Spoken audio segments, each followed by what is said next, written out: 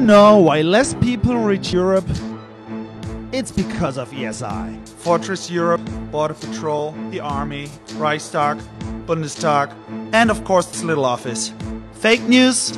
It's not. It's true. Believe me, ESI does an amazing job. They say human rights and mean borders. Wow. They create a huge wall just here in Kreuzberg. Not that wall, that wall.